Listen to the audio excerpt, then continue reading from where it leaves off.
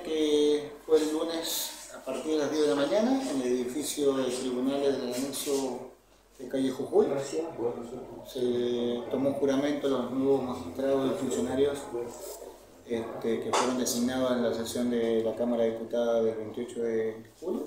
Y bueno, cumplida la ceremonia formal y protocolar ante la Corte, se me tomó juramento y ya automáticamente ya quedé en funciones de este juzgado. Es un poco también eh, lo que uno ya sabía de antemano, la, las características y la complejidad de este tribunal que contiene un multifuero que va desde cuestiones civiles, laborales, comerciales, contenciosos y, y, lo penal y las cuestiones de familia y demás. Bueno, un poco lo que uno ya sabía con lo que se iba a encontrar.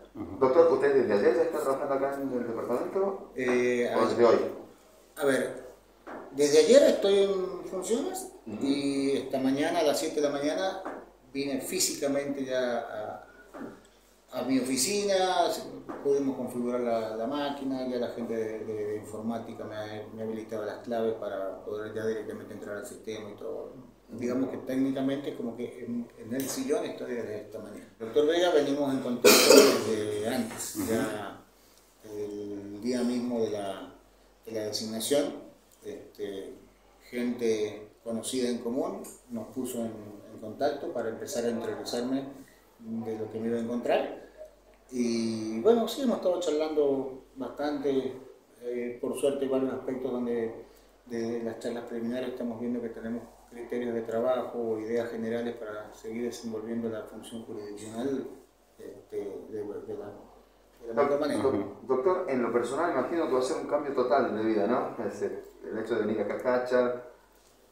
Bueno, a ver, eh, sí, implica, implica una, una radicación en este departamento. Eh, la idea del proyecto familiar este, es que me, me, acompañe incluso mi esposa el mayor tiempo posible. Mis hijas eh, están estudiando en la provincia y están, prácticamente van a quedar radicadas en capital, pero digamos que mi asiento a partir de ahora, personal y familiar, es la, la ciudad de Jalisco.